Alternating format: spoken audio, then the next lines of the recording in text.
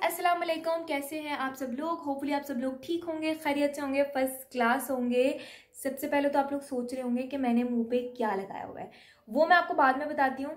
सबसे पहले तो मेरी तरफ़ से सबको हैप्पी न्यू ईयर बहुत ढेर सारी दुआएँ, बहुत ढेर सारा प्यार, नया साल आप लोगों के लिए बहुत ढेर सारी खुशियाँ लेके आए।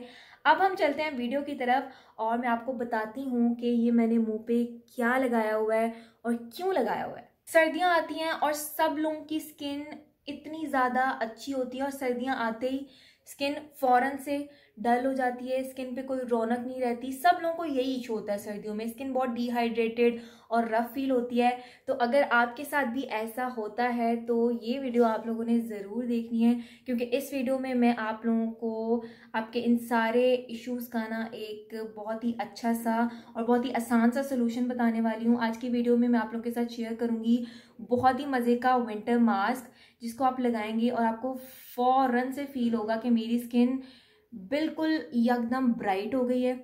मेरी स्किन बिल्कुल सॉफ्ट हो गई है, उस पर कोई ड्राइनेस नहीं है। चलते हैं और वीडियो को स्टार्ट करते हैं। मैं आपको जो मास्क है, वो बनाना दिखाती हूँ और मुँह धो के मैं आती हूँ। और शुरू में मैंने आपको रिजल्ट्स दिखा देने हैं और आप देखिएगा, बहुत फ़र्स्ट क्लास किस्म के इसके रिजल्ट्स हैं। चलते हैं और हम देखते हैं कि हमने किस तरह से इस मास्क को बनाना है। ये मैं यहाँ पे जी मुँह धो के आ गई हूँ और इसको आपने 10 से 15 मिनट तक लगा के रखना है।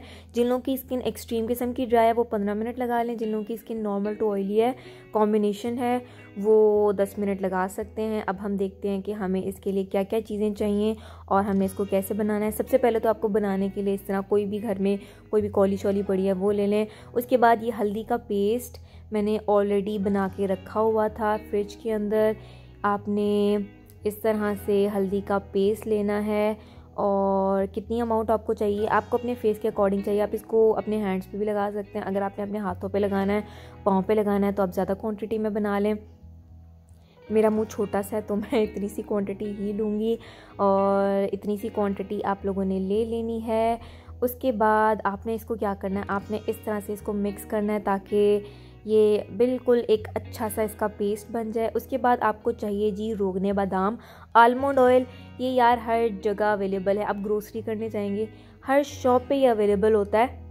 आलमंड ऑयल को हम कैरियर ऑयल भी कहते हैं। क्यों कहते हैं? क्योंकि आलमंड ऑयल के साथ आप कोई भी प्रोडक्ट कोई भी चीज़, कोई भी ऑयल मिक्स करते हैं तो वो आपकी स्किन में ज़्यादा अच्छे से एब्जॉर्ब होता है। और इसके आपको कितने ड्रॉप्स चाहिए? इस इसके आपको चाहिए अपनी स्किन के हिसाब से अपने इसके ड्रॉप्स लेने हैं।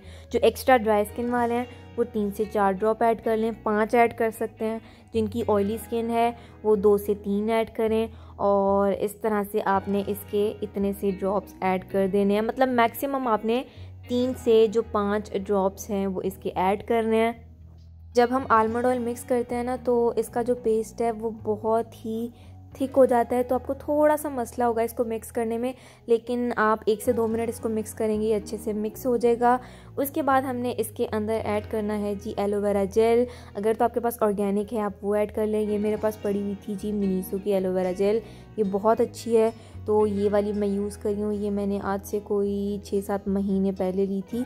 और ये मिलती है छः सात सौ की। पाँच सौ की, छः सौ की या सात सौ की, मुझे एग्जैक्ट प्राइस नहीं याद। पाँच सौ, छः सौ तक की मिल जाती है, ठीक है? आपने इसकी क्वांटिटी कितनी लेनी है? इसकी आपने क्वांटिटी लेनी है इतनी, ठीक है? अपना जो ब्रश है ना, वो आपने भर के इसके अंदर डालना है, क्योंकि जो पेस्ट होता है ना, वो ऑलरेडी बहुत थिक होता है और वो आप अप्लाई नहीं कर सकते अपने मुँह पे। तो इसको थोड़ा सा लिक्विडी फॉर्म में लाने के लिए हम लोगों ने इतना जो एलोवेरा जेल है ना, वो इसके अंदर मिक्स करना है। अगर घर में आपके पौधे शौधे हैं तो आप ऑर्गेनिक ले लें, वरना आप बाज़ार का भी यूज़ कर सकते हैं। और ये आप यहाँ पे देख सकते हैं कि मैं इसका जो पेस्ट है, वो इसको मिक्स कर रही हूँ, लेकिन पेस्ट ऑलरेडी अभी भी बहुत ज़्यादा थिक है। इसके अंदर अभी हम एक और चीज़ मिक्स करेंगे, जिससे इसकी कंसिस्टेंसी बिल्कुल ठीक हो जाएगी। मिक्स आपने इसको करते जाना है, करते जाना है, करते जाना है, तब तक करते जाना है जब तक कि इसका मिक्सचर अच्छा सा ना बन जाए ना। जैसे आप पकौड़ों का मिक्सचर बनाते हैं ना, वैसे ही आपने इस पर लगे रहना है, ठीक हो गया? उसके बाद बारी आती है जी रोज़ वाटर ऐड करने की। ये मैं यूज़ कर रही हूँ, मरहबा का रोज़ वाटर ये भी यार हर जगह अवेलेबल है। आप ग्रोसरी शॉपिंग करने जाएँ बाहर, वहाँ से एक उठा लिया करें।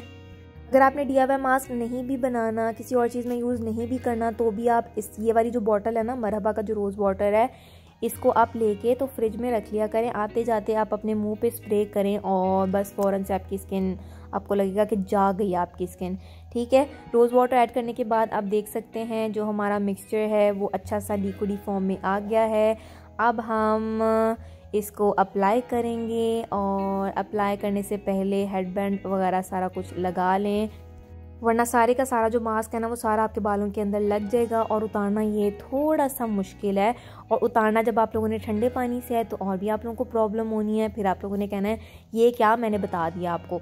ठीक है? तो पहले बता रही हूँ कि पीछे हेडबैंड करके बालों को लगा लें, फिर इसकी एप्लीकेशन करें। उसके बाद हम इसको अप्लाई करना स्टार्ट करेंगे। अप्लाई करने से पहले मैं बता दूँ, आपकी स्किन जो है ना, वो बिल्कुल क्लियर होनी चाहिए। क्लियर से मुराद ये है कि आपकी जो स्किन है ना, वो बिल्कुल साफ़ होनी चाहिए। या तो अपना मुँह जो है, उसको धो लें साबुन से फेस वॉश से, या फिर इसके अलावा अगर आपने नहीं धोना है तो आप कोई भी जो वाइप्स होती हैं, उससे अपना जो फेस है, उसको क्लियर कर सकते हैं। और इसको आपने अच्छे तरीके से इसकी जो लेयर है ना, वो अपने फेस पे अप्लाई कर देनी है। बहुत ज़्यादा थिक लेयर नहीं लगानी। बिल्कुल आपने इसकी लाइट सी लेयर लगानी है। आपने इसकी बहुत ही लाइट सी लेयर लगानी है। लाइट सी लेयर आपने इसलिए लगानी है क्योंकि इसके अंदर है जी आलमंड ऑयल ज़्यादा थिक लेयर आपने नहीं लगानी और आपने इसको एटलीस्ट 10 से 15 मिनट देने हैं। इसके अलावा आपने ऐसा बिल्कुल नहीं करना कि आप एक दिन बनाएँ ये मास्क और आप अगले दिन उसको स्टोर करके यूज़ करें। थोड़ा सा मिक्सचर बनाएँ। उसी टाइम आप इसको यूज़ कर लें। अगले दिन बनाना है तो आप इसको दोबारा बना सकते हैं। लेकिन ऐसा आप लोगों ने बिल्कुल नहीं करना कि एक दिन बनाया है, उसके बाद इसको स्टोर किया और अगले दिन भी आपने उठा के वही लगा लिया है। ऐसा बिल्कुल नहीं करना है। आने के बाद हमने एटलीस्ट 10 मिनट तक वेट करना है और 10 मिनट के बाद भी 10 से 15 मिनट के बाद भी ये जो मास्क होगा ना, ये सूखेगा नहीं, ये गीला गीला ही होगा और आपने इसको गीला गीला ही वॉश करना है। और वॉश करना है आपने ठंडे पानी के साथ। ही आप देख सकते हैं, मैंने इतना सा मिक्सचर बनाया था और उसमें से भी ये बच गया दस मिनट तक इंतज़ार करें। जिनकी एक्स्ट्रा ड्राई स्किन है, वो पंद्रह मिनट तक बता चुकी हूँ ऑलरेडी और जिनकी कॉम्बिनेशन स्किन है या जिनकी ऑयली स्किन है, वो दस मिनट तक सेवन टू टेन मिनट्स तक लगा सकते हैं। और ये मैं यहाँ पे दोबारा आपको दिखा रही हूँ कि मुँह धोने के बाद मेरी स्किन फिट किस्म की ग्लो कर रही है। ये आप देख सकते हैं इस मास्क के क्लियर रिजल्ट्स मैंने मुँह धो लिया, दस मिनट बाद आपने इसको वॉश कर देना है और फ़ौरन से आपको फील होगा कि आपकी जो स्किन है उसको नई ज़िंदगी मिल गई है। तो आप लोगों ने भी इस मास्क को ज़रूर ट्राई करना है। अगर आप ट्राई करें तो मुझे ज़रूर बताइएगा इंस्टाग्राम पे। I hope you guys like the video और अगर वीडियो अच्छी लगी हो तो give this video a huge thumbs up और अगर अभी तक आपने मेरे चैनल को सब्सक्राइब नहीं किया तो फ़ौरन से नीचे जाएँ और मेरे चैनल को सब्सक्राइब कर दें। Thank you so much for watching I love you guys so much अल्लाह हाफिज़। अपना बहुत ढेर सारा ख्याल रखें।